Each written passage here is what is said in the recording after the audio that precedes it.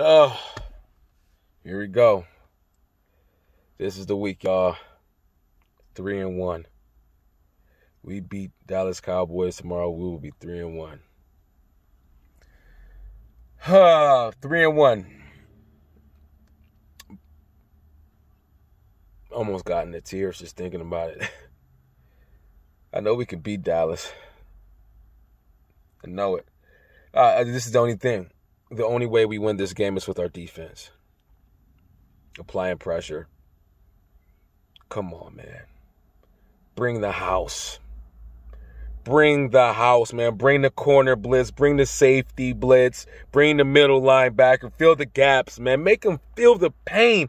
Don't give this guy time to throw 400 and 500 yards. If this guy can throw 400 yards against Seattle, against Atlanta, and uh, uh, uh, uh, against uh, who was it? Um, the Rams. What do you think he's going to do against our defense, man? Yeah, we would. You, I mean, we knew a lot of people knew that Delpit being out really hurt us.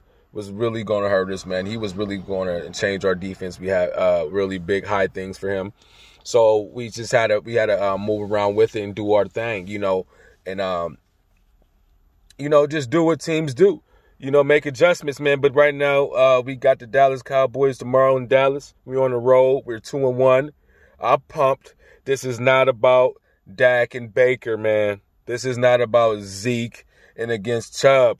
This is against our defense against their defense. Who's going to give up the least amount of points?